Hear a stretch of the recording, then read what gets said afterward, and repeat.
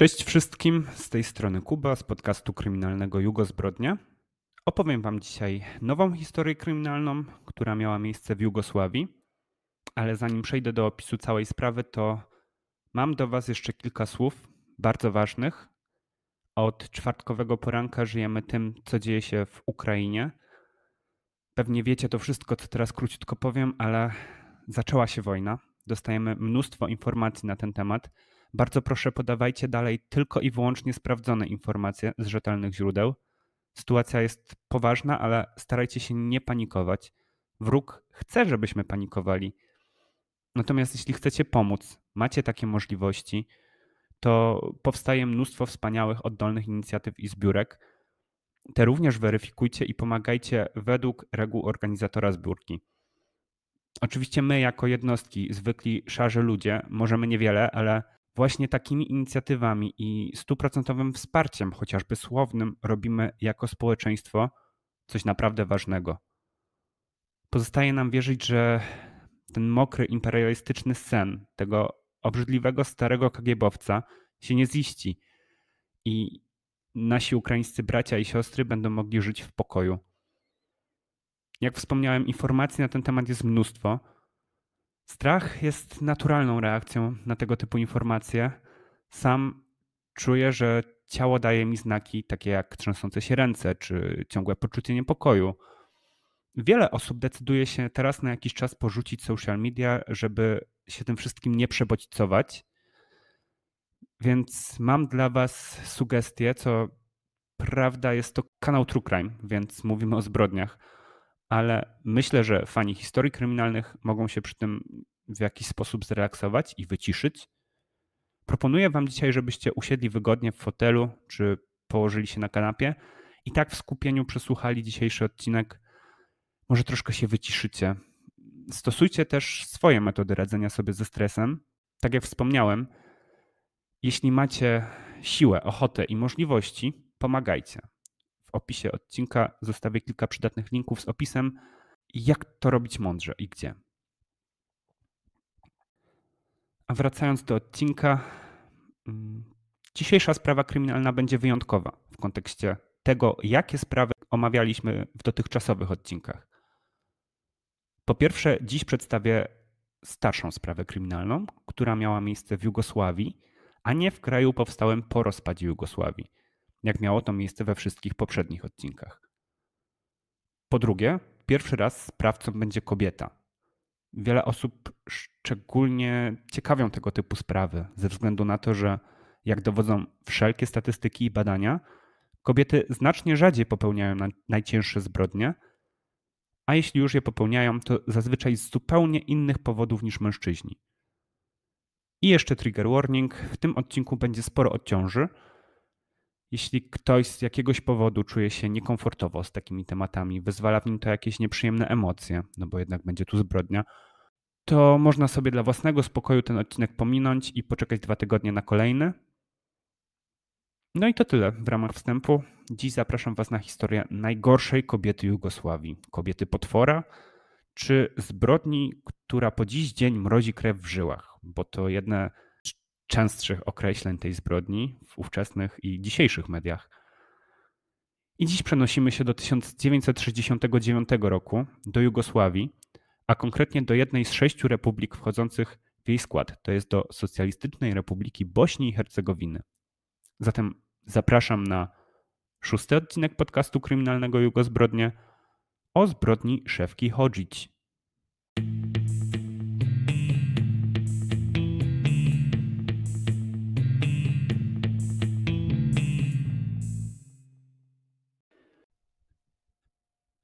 Jugosławia była krajem socjalistycznym, ale zupełnie innym od PRL-u.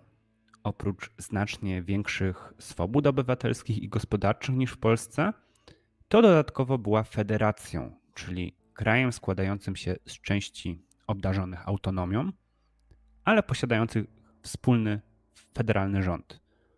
W uproszczeniu takie państwa w państwie – Oczywiste, że w tak niemałym kraju były dysproporcje w rozwoju. Najbardziej rozwinięta była Słowenia, a najuboższe republiki to Macedonia i właśnie Bośnia. W połowie lat 60. pozwolono obywatelom na wyjazdy zarobkowe za granicę, ale na wsiach nieszczególnie było widać jakąkolwiek zmianę. Na przykład wioska, w której działy się dzisiaj omawiane wydarzenia, nie miała ani sieci elektrycznej, ani dostępu do bieżącej wody. No, generalnie zero sanitariatu. Takie miejsce, gdzie diabeł mówi dobranoc. Źle było też ze szkolnictwem. E, duża odległość do najbliższej szkoły sprawiła, że wielu mieszkańców, zwłaszcza tych starszych, nie potrafiło ani czytać, ani pisać. Ta wioska nazywa się Jurici i leży w górach jakieś 20 km od miasta Zwornik, miasta na granicy Bośni i Serbii. W 1943 roku urodziła się tutaj Alia Hasanowicz. Dziewczyna szybko wyrosła na miejscową piękność, ale szybko też wyszła za mąż, bo już początkiem lat 60., czyli jeszcze jako nastolatka.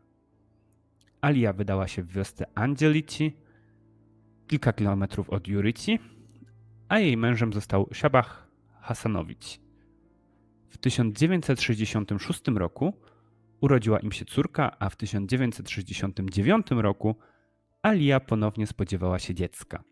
Oczywiście teraz bardzo chcieli mieć synka, ale w tamtych czasach, e, tym bardziej na wsi, nie robiło się żadnych badań pozwalających monitorować przebieg ciąży.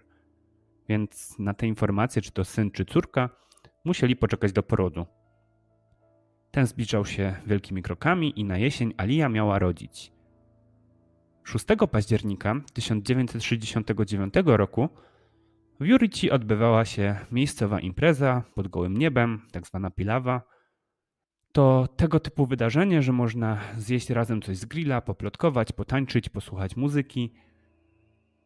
Na tej imprezie Alia spotyka swoją koleżankę ze szkolnych lat, szefkę chodzić.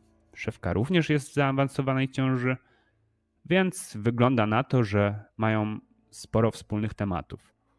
Nikt nie zwraca na nie jakoś szczególnej uwagi. Wieczorem wszyscy rozchodzą się do domów, ale bliscy Alii szybko wszczynają alarm, że ta nie wróciła do swojego domu. Początkowo nikt nie podejrzewał, że mogłoby jej się przydarzyć coś złego, Założyli, że dziewczyna wracała sama. Założyli, że dziewczyna wracała sama z tej wiejskiej imprezy i zaczęła rodzić gdzieś po drodze. Więc właśnie przy drodze łączącej wioski Angelici i Jurici najbliżsi skupili swoje poszukiwania, które niestety nie przyniosły żadnego efektu. Po Alii nie było żadnego śladu, a zapadł już zmrok. Nie były to czasy ogólnodostępnych telefonów, nawet stacjonarnych, więc nie można było zawiadomić nikogo telefonicznie i poprosić o pomoc w poszukiwaniach. Następnego ranka wznowiono poszukiwania ciężarnej Alii i przed południem w takim młodym lasku nad niewielkim potokiem Kamieniacza odnaleziono jej zwłoki. Miejsce zbrodni wyglądało bardzo niepokojąco, ponieważ w brzuchu Alii nie było dziecka. Miejscowi podeszli do sprawy dość osobliwie, bo byli przekonani, że Aliję zaatakował niedźwiedź i zjadł dziecko. Na szczęście na miejsce znalezienia zwłok Alii przybył miejscowy lekarz Hasan Latifowicz. Pan Latifowicz nie skończył medycyny, ale potrafił wyrywać zęby, składać złamane kończyny, podawać jakieś proste leki czy zastrzyki. Te umiejętności zapewne nabył w wojsku, a dzięki tym zdolnościom uchodził za lekarza wśród miejscowych, pomimo braku dyplomu. I pan Latifowicz zauważył coś, co nie pasowało do tezy o niedźwiedziu postawionej przez okolicznych mieszkańców.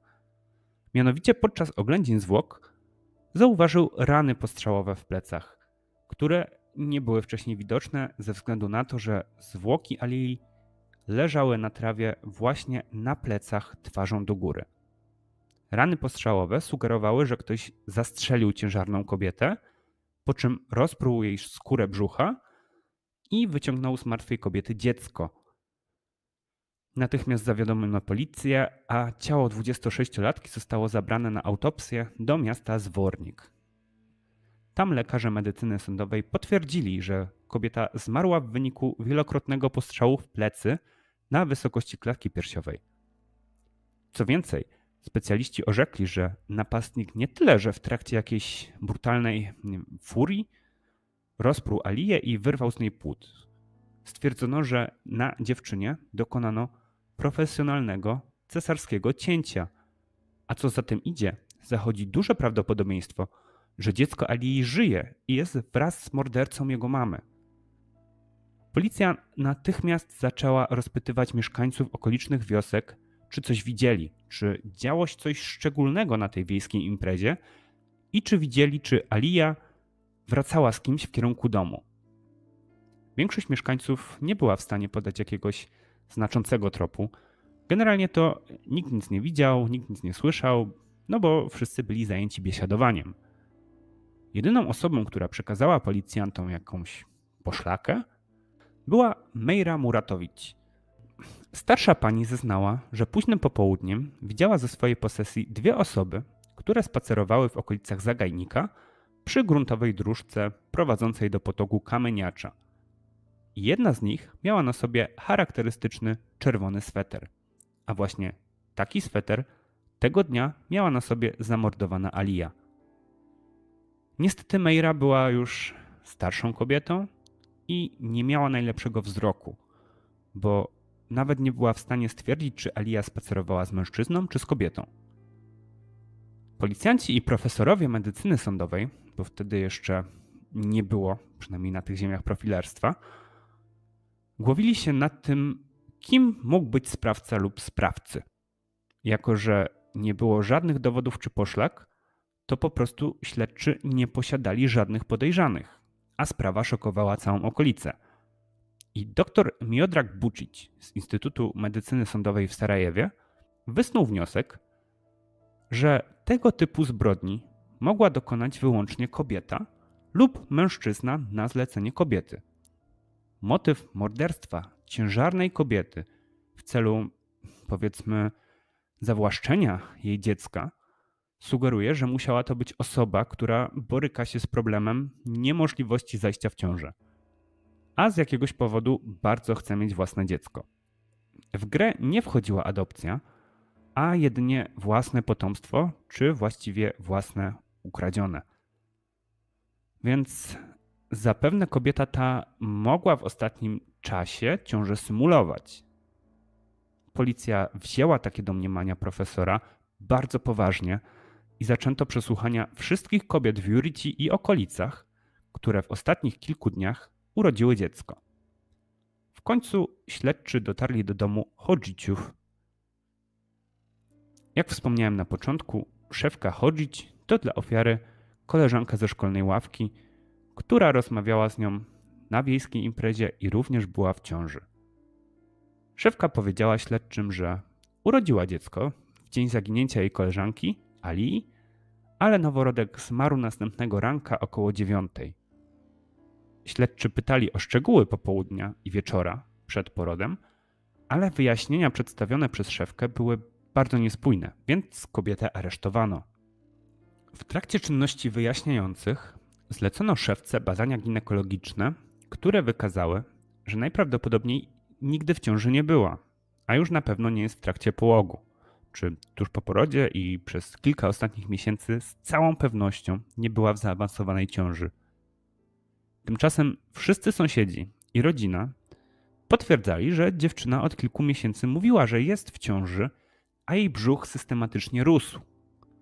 13 października 1969 roku rozpoczęto przesłuchania. I 26-letnia szefka zeznała, że od 9 lat jest w związku małżeńskim ze swoim mężem Nejibem Hodziciem i że pomimo całkiem długiego stażu małżeńskiego i młodego wieku nie doczekali się jeszcze ani jednego dziecka. Szefka twierdziła, że nie miała większych problemów z mężem, chociaż ten czasami stosował wobec niej przemoc i często zaglądał do kieliszka. Ponadto pracował w firmie budowlanej RAD w odległym Belgradzie, więc w domu bardziej bywał niż mieszkał. Mąż i rodzina szefki mieli jej sugerować, że w tym wieku wypada mieć dziecko, a jej widok koleżanek z dziećmi czy wścibskie pytania, kiedy ona w końcu urodzi Nejibowi potomka, przysparzało jej więcej zmartwień. Przez te wszystkie lata presja ze strony otoczenia, żeby to szefka miała dzieci, była tak ogromna, że dziewczyna chorobliwie zapragnęła je mieć. Chciała się czuć przydatna i ceniona wśród rodziny i sąsiadów i wydać potomstwo. Ona z mężem regularnie współżyła, ale mimo to w ciążę nigdy nie zaszła, co sugerowało, że którejś z nich lub oboje mogą być bezpłodni. Ale chyba nie muszę tłumaczyć, że dla przedstawicieli małej górskiej i słabo wykształconej społeczności w latach 60. prędzej obstawiano by klątwę czy urok niż udano się do lekarza. Zresztą sama szefka skończyła tylko kilka klas szkoły podstawowej, a rodzinne góry podobno opuściła tylko kilkakrotnie, w tym raz udając się do sądu na rozprawę mordercy jej ojca. To jest w ogóle dość pokręcona sprawa, co tylko pokazuje, w jakim środowisku wychowywała się szefka. Jej ojciec Mehmet z nieznanych nam powodów zabił swojego sąsiada o nazwisku Muratowicz. Dostał jakiś tam niewielki wyrok, który odsiedział, a gdy po odsiadce wrócił do wioski, został zabity przez brata mężczyzny, którego zamordował. Co gorsza, jej ojciec został zabity w polu na oczach młodej szefki. Ale wracając do zeznań szefki, to ta twierdziła, że od wielu lat starali się z mężem o dziecko, no ale bezskutecznie. No i w kwietniu 1969 roku ona straciła okres i brak menstruacji, jak myślała związaną z tym faktem ciążę, oznajmiła swojemu mężowi. Niestety dla niej okres okazał się po prostu spóźniać i krwawienie pojawiło się po około dwóch miesiącach. Była z tego powodu niezwykle wściekła, bo oznaczało to, że jednak nie jest w ciąży, a potencjalna reakcja męża tak bardzo ją przerażała, że postanowiła nie wspominać mu o fakcie, że na ten czas z potomstwa nici. Tak bardzo bała się reakcji męża i bliskich. Wieść o tym, że szefka jednak nie jest w ciąży, mogłaby rozczarować jej rodzinę i męża, a jak wspomniałem, ten podnosił na nią rękę oraz mm, nie tyle, że stosował wobec niej jakieś groźby wyrzucenia z domu, co tak naprawdę stosował taką, powiedzmy, przemoc socjalną, czyli po prostu z tego domu ją wyrzucał. Dlatego właśnie szefka postanowiła nikomu nie mówić o tym, że ponownie nie udało im się zajść w ciążę. Wolała ją symulować, systematycznie wypychając sobie ciuchy w okolicach brzucha, najpierw małymi skrawkami materiału, a na jesień już poduszką.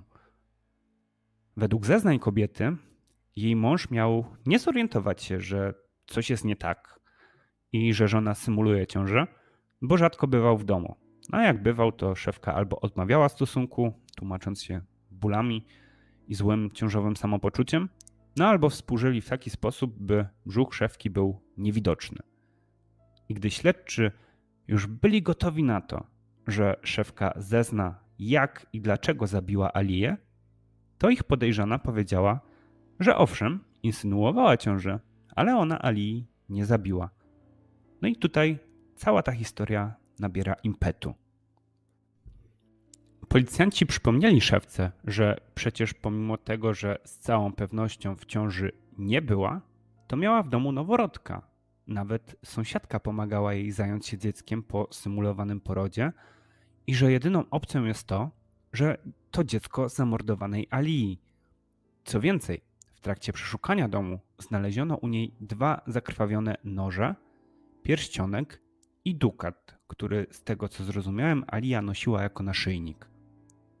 Co więcej, rozpytano sąsiadów o zachowanie szewki w ostatnim czasie, a ci zeznali, że właśnie od dłuższego czasu zaczepia, zaczepiała ciężarne kobiety we wsi i pytała, czy na pewno poradzą sobie z małym dzieckiem, sugerując, że ona mogłaby je przygarnąć. Wtedy szefka po raz kolejny zmieniła wersję wydarzeń. Powiedziała, że od maja 1969 roku miała romans z Ramo Hasamowiciem, jej kuzynem. Ich ojcowie byli braćmi. Początkowo prosiła go, by wymusił na ciężarnej siostrze oddanie jej dziecka. Gdy ten pomysł nie doszedł do skutku, ten miał jej obiecać, że on wszystko załatwi, żeby ona się o nic nie martwiła. I w dniu tej wiejskiej imprezy szefka owszem rozmawiała z Alią, ale krótko i później wróciła do domu. Wieczorem miał przyjść y, jej kuzyn i kochanek w jednym, Ramo, i przynieść w materiałowej torbie noworodka. Ramo nie mówił, czyje to dziecko. Ona też oczywiście nie pytała. Maluch nie płakał, ale jak tylko wyciągnęła go z torby, no to zaczął płakać i ona sugerowała tym, że dziecko jeszcze u niej w domu żyło. Dziecko nazwała Fatima, gdyż była to dziewczynka. Mm, pępowinę miała przeciąć nożem kuchennym, stąd ślady krwi na nożu znalezionym w jej domu. Natomiast maluch miał umrzeć naturalnie rano, około dziewiątej. Dopiero później miała dowiedzieć się, że Alia została zamordowana, a dziecko wyciągnięto z jej brzucha. Później miał przyjść do niej Ramo i wszystko opowiedzieć. Co gorsza, w tej wersji Ramo miał napaść Aliję, zgwałcić ją, zastrzelić i później wyciągnąć z niej dziecko. Wtedy też miał jej podarować biżuterię, która później okazała się skradzioną biżuterią Alii. Biżuterię tę zawinęła e, w papier i wrzuciła do popiołu z pieca. Jak słyszycie, te wydarzenia wydają się być dopasowane do faktów, które przedstawili śledczy, ale w taki sposób, żeby szefka się wybieliła. No i śledczym oczywiście nie podobał się taki obrót sprawy i taka nieudolna próba odwrócenia uwagi śledczych od podejrzanej przez nią samą. Poproszono ją wtedy o przeładowanie broni, no i jak się okazało, to zadanie poszło jej świetnie. To również mogłoby być argumentem na to, że to ona strzelała do Ali, no ale szefka i na to znalazła wyjaśnienie. Powiedziała wtedy, że mąż przywiózł jej pistolet po jednym z wyjazdów do pracy i podarował jej broń, by, jak twierdziła, mogła się bronić, gdy jest sama w domu. To właśnie mąż miał jej wtedy pokazać, jak posługiwać się bronią palną. Dodała też do tego, że po tym jak mąż wyrzucił ją z domu, ta chciała się powiesić, ale jej się to nie udało i wrócili do siebie. I to poprzez tę nieudaną próbę samobójczą szewki, Nejib bał się zostawić żonę samą z bronią, więc oddali ją szwagrowi, a ten chciał ją zwrócić szewce 10 października, czyli w czasie, gdy Alija już nie żyła. Ona miała nie chcieć broni, więc szwagier wrócił z nią do domu, i co ciekawe, broń została znaleziona zakopana na posesji właśnie szwagra szewki, to jest Avdi. Więc ten został aresztowany. I badania balistyczne wykazały, że to właśnie z tej broni odebrano życie Alii. Mimo odnalezienia narzędzia zbrodni i aresztowania szwagra, policja nadal miała wątpliwości co do zeznań szewki. Gdyż ta przez kilkakrotną zmianę zeznań na temat omawianych wydarzeń była absolutnie niewiarygodna, a prokuratura nadal wnosiła o najwyższy wymiar kary wobec oskarżonej, a wtedy w Jugosławii obowiązywała kara śmierci. W tym czasie do kancelarii najlepszego jugosłowiańskiego adwokata, Filota File, dotarło pismo z prośbą o obronę szewki przed sądem. I tutaj warto nadmienić, kim w ogóle był Filota File. Był to wzięty adwokat, który pochodził z Republiki Macedonii na południu Jugosławii. W wyniku różnych perturbacji życiowych zajął się właśnie prawem, a był znany z tego, że był wielkim przeciwnikiem kary śmierci. Jego niechęć do tego typu kary za przestępstwa miała wynikać z pobytu w obozie koncentracyjnym w czasie II wojny światowej oraz nieudolnej próby obrony własnej ciotki, która w latach 40. w poszukiwaniu lepszego i dostatniejszego życia została przyłapana na próbie nielegalnego przekroczenia granicy jugosłowiańsko-greckiej, za co została skazana na śmierć, gdy Filota dostał pismo i dowiedział się, że o pomoc prosi się w imieniu kobiety, nad którą wisi widmo kary śmierci, a dowody teoretycznie nie mówią wprost, kto zabił, to on postanowił zająć się tą sprawą i reprezentować szefkę przed sądem. W jego kancelarii prawnej powstał zespół, który miał się do tej sprawy przygotować, a Filota pojechał do aresztu w Tuzli, gdzie przebywała szefka i czekała na rozprawę. No i on tam wtedy stwierdził, że ona nie jest potworem, tak jak pokazywały gazety, że to normalna kobieta. No i wtedy też szefka przedstawiła mu wersję, kolejną już, że jej kochankiem istotnie był Ramo. Mówiła mu wszystko, również to, że chce mieć dziecko, z tym, że nie z mężem, a właśnie z nim, z Ramo. No i pewnej nocy, gdy mąż był w pracy, gdzieś daleko, pewnie w Belgradzie, oni mieli leżeć sobie w łóżku i obmyślać wspólnie plan, by napaść na dowolną kobietę w ciąży i wydobyć z niej, że tak brzydko powiem, dziecko. Wtedy dała mu pistolet, który dostała od męża, i on poszedł w umówione miejsce, to jest nad potok, i tam zaatakował Aliję i ją zgwałcił, a szefka miała się temu przyglądać za krzaków. To już w ogóle kosmiczna wersja. Miało to trwać około 5 minut, a gdy ofiara chciała uciec, nie zdążyła nawet przejść przez płytki potok, a Ramo strzelił jej w plecy.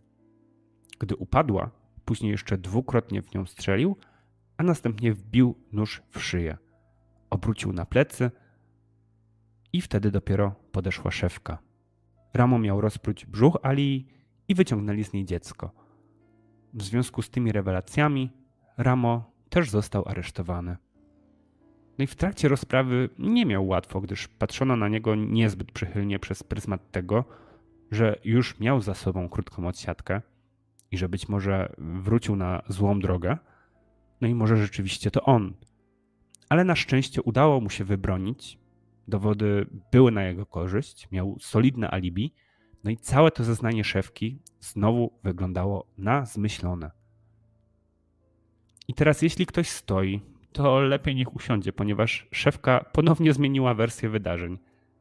Miało to miejsce, gdy przebywała w areszcie, dała swojemu adwokatowi jakiś zawiniątek, na którym było napisane, że Ramo nie brał czynnego udziału w morderstwie, że on służył wyłącznie za wabik i tylko zaciągnął Alię nad potok, ale tam zabili ją, uwaga, jego syn i żona. No i jak twierdziła szefka, tę kartkę miał jej przekazać w więzieniu sam Ramo. Natomiast adwokat od razu rozpoznał, że charakter pisma na przekazanym zawiniątku należy do nikogo innego jak do samej szefki. No ona oczywiście twierdziła, że tym razem jest to najprawdziwsza prawda, więc jej własny obrońca postanowił zadać jej jakieś kontrolne pytanie i wtedy zapytał w takim razie skąd wzięły się nóż i biżuteria ofiary u ciebie w domu. Na co szefka odpowiedziała, że musieli jej to podrzucić żona i syn Ramo. No i Filota już w tym momencie wiedział, że to kolejna bezsensowna wersja i że to absolutnie nie pomoże jego klientce w uniknięciu kary śmierci.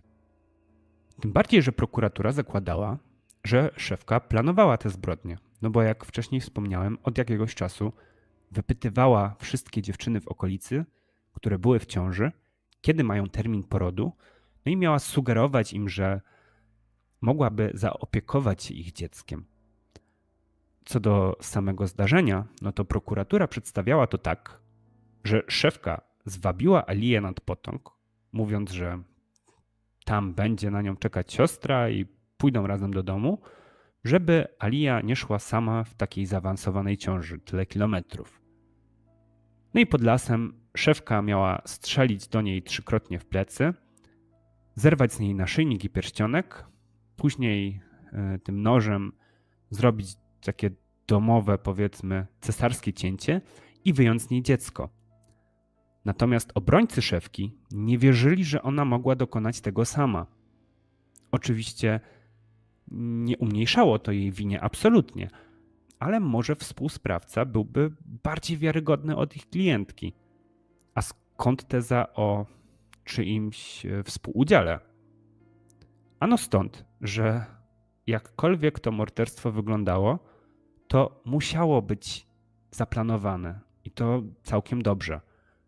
Zwabienie ofiary na kilka dni przed planowanym porodem i to jeszcze w dzień wiejskiej imprezy, kiedy nikt nie pałęta się po okolicy, bo wszyscy biesiadują, strzał z zimną krwią, kradzież i to jeszcze cesarskie cięcie, to wydawało się trochę za dużo, jak na prostą dziewczynę, która ledwo czyta i pisze.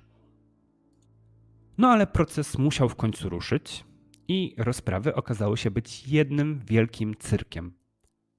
Przede wszystkim zainteresowanie sprawą, jak i osobą szewki było w społeczeństwie tak duże, że chętnych na obecność na sali sądowej, jako widzowie, było zdecydowanie więcej niż dostępnych miejsc.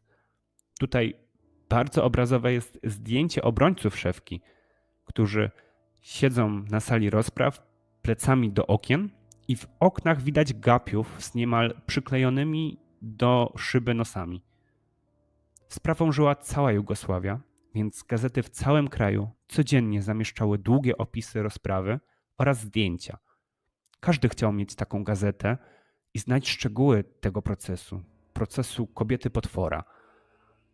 Zainteresowanie tą sprawą w społeczeństwie jeszcze bardziej podsyciła zmiana wyglądu i zachowania oskarżonej. Wyobraźcie sobie, że sztab obrońców zdecydował o zupełnej przemianie szewki. Ubrali ją w najmodniejsze sukienki.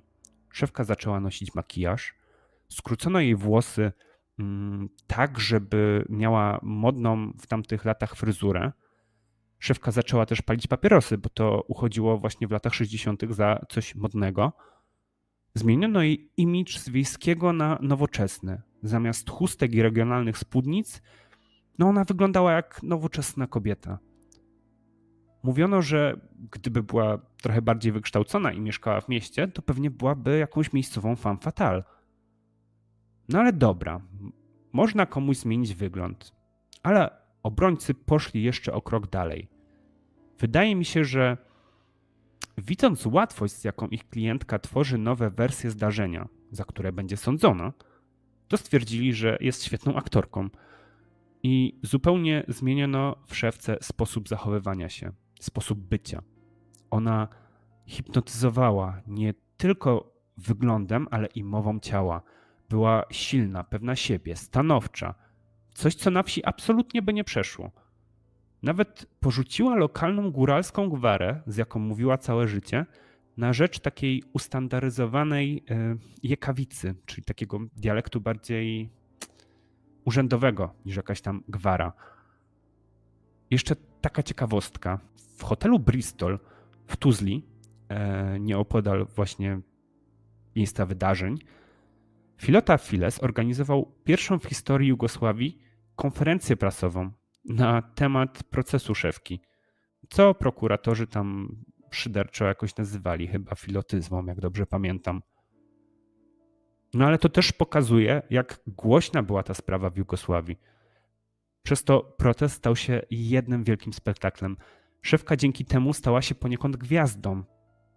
Jej takie y, zainteresowanie ze strony mediów i społeczeństwa oczywiście bardzo odpowiadało. Miała nawet powiedzieć, że chciałaby, żeby ten proces trwał wiecznie, bo i wyrok się odwleka, i zainteresowanie nią nie mija. Oczywiście szefka po raz kolejny zmieniła wersję wydarzeń. Powiedziała, że jej kuzyn Avdia ocalił jej życie, gdy podjęła próbę samobójczą po wyrzuceniu z domu przez męża, że to z nim miała romans i ona w sumie nic więcej nie wie i cała ta sprawa to jeden wielki spisek. Co ciekawe, ten kuzyn był sądzony właśnie za ukrywanie dowodów i pomaganie w przestępstwie, tak jak już tam wspominałem, no ukrył ten pistolet, najprawdopodobniej, którym zabito Aliję, nie wiemy czy świadomie czy nie, bo szefka miała go o to poprosić, tłumacząc, że to dlatego, że nie mieli z mężem pozwolenia na broń. A w procesie szefki obrona zdawała sobie sprawę z tego, że ich klientka kłamie, ale nie wierzyli, że sama dokonała tej zbrodni. Oni zakładali, że szefka tak często zmienia wersję wydarzeń, dlatego że zapewne boryka się z jakimiś zaburzeniami i możliwe, że już sama nie wie, co jest prawdą, a co nie. No ale obrońcy byli też przekonani, że jeśli był współsprawca, to musiał być to jej kochanek.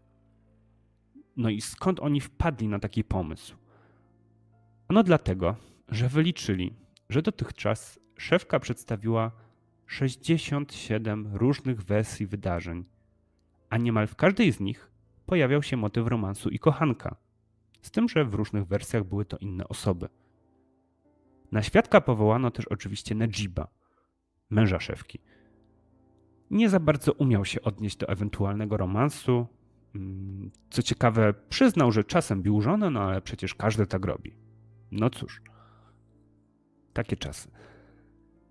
Za to istotne z punktu widzenia obrony były zeznania tego lekarza samouka, że tak go nazwę, czyli Hasana Latifowicia. Obrona sądziła, że jego zeznania mogłyby być przełomowe dla sprawy, bo oprócz tego, że Hasan jako jedyny w okolicy potrafił profesjonalnie zrobić cesarskie cięcie, to jeszcze tajemnicą Poliszynela w wiosce było to, że Hasan spotyka się z matką szefki. Szefka z całą pewnością nie potrafiła zrobić perfekcyjnego chirurgicznie cesarskiego cięcia, no a Hasan nie był zupełnie dla niej bezstronny. Niestety nie udało się dowieść, czy rzeczywiście Hasan miał z tym morderstwem cokolwiek wspólnego, czy nie. Ciekawa sytuacja wydarzyła się mm, po jednej z rozpraw, co chętnie opisywały gazety. Mianowicie mm, na korytarzu w budynku sądu szefce udało się jakoś wyrwać eskortującym ją policjantom. I podbiegła wtedy do swojej matki, która stała w tym korytarzu. I szefka chciała ją objąć, e, ale matka niespodziewanie odepchnęła ją i nawrzeszczała na nią przed wszystkimi, że szefka zniszczyła całą rodzinę, że przynosi ogromny wstyd im wszystkim. No i że ona ją urodziła, ale szefka już jej córką nie jest. No i w końcu nadszedł ostatni dzień procesu. Filota podczas mowy końcowej powiedział, że tak naprawdę żaden z zebranych dowodów nie przynosi stuprocentowej pewności co do winy oskarżonej. No bo nie są w stanie wykazać, że nie było tak, jak ona twierdziła, w którejś z przedstawionych przez siebie wersji. Próbował też wykazać, że nie wszystkie okoliczności zdarzenia zostały wyjaśnione, jak chociażby to, kto jej pomagał i kim był jej kochanek, który mógłby wnieść istotne informacje do sprawy. No ale sąd w końcu wydał wyrok i pomimo wielu takich nielogiczności i tego, że szefka nie mogła sama zrobić tego cesarskiego cięcia, bo ono po prostu było zbyt dobrze zrobione, oraz nie było możliwości odtworzenia całego wydarzenia tak jeden do jednego, no to sąd okręgowy w Tuzli orzekł, że szefka jest winna dokonania zarzucanego jej czynu i wymierzył jej najwyższą możliwą karę, mianowicie skazał ją na śmierć przez rozstrzelanie. Jej obrońcy oczywiście odwołali się od tego wyroku, ale Sąd Najwyższy Republiki Bośni i Hercegowiny podtrzymał wyrok kary śmierci. No i wtedy pozostała im już ostatnia instancja. Filota zaskarżył wyrok do Sądu Najwyższego Jugosławii, a ten po przeanalizowaniu akt sprawy stwierdził naruszenia w trakcie procesu i wiele niejasności co do przebiegu zdarzenia i nakazał ponowny proces. No i Filota, gdy otrzymał informację o ponownym procesie, bardzo się ucieszył, ale stwierdził, że nie oznajmi tego szewce tak od razu, tylko zastosuje wobec niej blef. I podczas spotkania z klientką w więzieniu powiedział jej, że Sąd Najwyższy odrzucił ich wniosek o ponowny proces. Chciał w ten sposób podejść szefkę, bo powiedział jej, że może jeszcze coś będzie dało się zrobić w kierunku ponownego procesu, i szansy na mniej surowy wyrok, ale ta musiałaby mu powiedzieć prawdę o wydarzeniach z października. Kto jej pomagał i kto naprawdę był jej kochankiem. No i szefka w końcu przedstawiła wersję, kolejną już, której tym razem zaczęła się trzymać.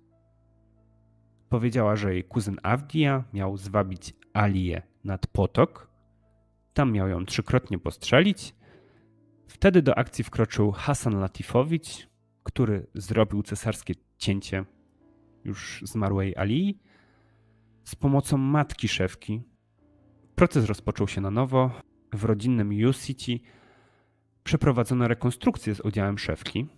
e, rekonstrukcji bronił kordon policji. No ale o dziwo nie przed rozwścieczonym tłumem, a przed zaciekawionym tłumem. Każdy chciał raz jeszcze zobaczyć kobietę potworę, a do niedawna ich sąsiadkę. Tam oskarżona przedstawiła trzymającą się kupy inscenizację, no ale ponownie nie można było ze stuprocentową pewnością stwierdzić, czy to wiarygodne zeznania. A tak naprawdę oprócz zeznań i domniemania, że rzeczywiście wydarzenia przedstawione w tej wersji istotnie mogły mieć miejsce, no to nie było nic więcej, co potwierdzałoby tę tezę. No i sąd, biorąc te wszystkie okoliczności pod uwagę, wydał nowy wyrok w tej sprawie i podtrzymał przekonanie, że szefka bez wątpienia jest zamieszana w tę sprawę. Ale tak na dobrą sprawę, nie wiadomo w jakim stopniu. Nie wiadomo, kto jej pomagał, czy na przykład y, kto faktycznie pociągnął za spust. Czy szefka była wyłącznie inicjatorką całego planu, czy może była na miejscu, lub czy to ona oddała strzały. Natomiast mimo tych wątpliwości, i tak zasądzono wobec niej karę pozbawienia wolności i skazano ją na 20 lat więzienia. I argumentując to tym, że jej udział w przestępstwie jest jak najbardziej pewny, tylko nie wiadomo w jakim stopniu. Szefka została oddelegowana do odsiadki w więzieniu w slawońskiej Pożydze, czyli już e, w Chorwackiej Republice Socjalistycznej poza Bośnią. Wtedy też zorientowała się, że ona już nie jest gwiazdą, nie może się już modnie stroić, nie jest już osobą, którą wszyscy się interesują, pomimo tego, że zainteresowanie wynikało z okropnego czynu. Ale w trakcie odsiadki skończyła szkołę, chodziła na liczne kursy, a najchętniej szkoliła się z krawiectwa. Była więźniarką, która dobrze się sprawowała. Chętnie uczestniczyła w różnego rodzaju programach resocjalizacyjnych i dzięki temu mogła wcześniej zakończyć swoją odsiadkę, bo po 13 latach odbywanie kary zostało warunkowo zawieszone, a stało się to dokładnie w Dzień Republiki, najważniejsze święto państwowe Jugosławii, to jest 29 listopada 1983 roku. Szefka wyszła na wolność, stała się wolnym człowiekiem i po wyjściu na wolność od razu spotkała się ze swoim adwokatem, żeby podziękować mu za wszystko, co dla niej zrobił, no i że walczył o nią wszystkimi możliwymi środkami. Poszli razem na obiad, zrobili sobie spacer i rozstali się w okolicy Kalemegdanu, starej twierdzy w Belgradzie. Wtedy Filota miał jeszcze raz poprosić szefkę, by ta szczerze, jak na spowiedzi, powiedziała, czy to ona zabiła Aliję. Ta miała odpowiedzieć, że nie zrobiła tego, po tym spotkaniu już nigdy więcej się nie widzieli. Do dziś nie wiadomo, jakie były dalsze losy szefki chodzić. Jedyne, co wyszło na jaw i wydaje się być w miarę wiarygodne, to to, że wyszła za mąż za jednego z mężczyzn, którzy pomagali grupie Filoty w trakcie procesu. Więc pewnie kogoś związanego z prawem. Miała też zmienić personalia, imię i nazwisko. Cała reszta jest zagadką, którą opinia publiczna bardzo chciałaby poznać. Zresztą, jak wpiszecie jej nazwisko w Google, to podpowiedzą wam się takie hasła jak e, jak dziś wygląda szefka chodzić, gdzie jest szefka chodzić i tak dalej. Mm, są dwie najczęściej powtarzane narracje. Jedna mówi, że szefka wiodła szczęśliwy żywot na wolności wraz z mężem i urodziła mu dwójkę dzieci a w czasie wojny domowej wyjechali do Niemiec. Natomiast druga plotka, również bardzo często powtarzana, mówi, że szefka została zakonnicą i przebywa w monasterze gdzieś w Serbii. Obie plotki sugerują, że szefka nadal żyje. Gdyby rzeczywiście tak było, to miałaby dzisiaj 79 lat. Nejib rozwiódł się z nią jeszcze w czasie, gdy odbywała odsiadkę. Później żenił się kilkakrotnie i z ani jednego małżeństwa nie miał dzieci. Co do najbliższej rodziny szefki, to ci sprzedali cały swój majątek w wiosce Jurici i przeprowadzili się do miasteczka Kalesia koło Tuzli. No i tak kończy się historia szewki Chodzić, kobiety potwora. Mm, no i jej wina jest bezsprzeczna. Z całą pewnością była zamieszana w brutalne morderstwo Ali i jej dziecka. Wszystko wskazuje na to, że motywem była chęć kradzieży dziecka i że ktoś ją i że ktoś jej w tym pomagał. Chociaż nie wiemy kto, no i raczej już nigdy się nie dowiemy. Warto też przyjrzeć się temu, co mogło doprowadzić szefkę do tego czynu. No ona była niewykształconą kobietą ze wsi, gdzie właśnie, tak jak mówiłem, diabeł mówił dobranoc. Jej szybka zmiana osobowości w trakcie procesu i patologiczne kłamstwa mogą nam sugerować, że z jej zdrowiem psychicznym no, coś mogło być nie tak. Oczywiście od wiejskiego społeczeństwa Jugosławii lat 60. nie mogła liczyć na pomoc, czy chociażby na zrozumienie tego, że wraz z mężem nie może zajść w ciążę. Otrzymywała jedynie wymagania ze strony najbliższych. Musisz rodzić dzieci i już. Zapewne przez ciągłe powtarzanie jej, że tak ma być, zaczęła obsesyjnie szukać rozwiązania. I w grę nie wchodziła adopcja, bo musiała rodzić. Wiecie, im nie chodziło o to, by ona wychowała dziecko, tylko żeby je miała, żeby je urodziła, bo tak trzeba, bo taka jest rola kobiety. Po prostu musiała wypełnić oczekiwania innych wobec siebie. I ostatnio na Instagramie Ani Wiatrowskiej pojawił się post y, z wyjaśnieniem, jak takie zjawisko się nazywa. Jest to praca emocjonalna. I termin ten powstał mniej więcej w czasie, gdy szefka już wychodziła z więzienia. No ale oczywiście takie zjawisko istniało wcześniej. A poprzez pracę emocjonalną rozumiemy regulowanie ekspresji swoich emocji w sposób, który bierze pod uwagę głównie potrzeby otoczenia. Jak może wyglądać praca emocjonalna? To na przykład yy, uśmiechanie się, gdy tak naprawdę odczuwamy smutek. Dawanie komuś wsparcia, mimo że sami nie mamy zasobów na wspieranie, czy właśnie zajmowanie się najpierw potrzebami innych osób, a dopiero później własnymi. Tymczasem regulacja naszych emocji i działań sposób, który stawia na pierwszym miejscu samopoczucie i oczekiwania naszego otoczenia, a dopiero później nasze własne, to ogromny wysiłek.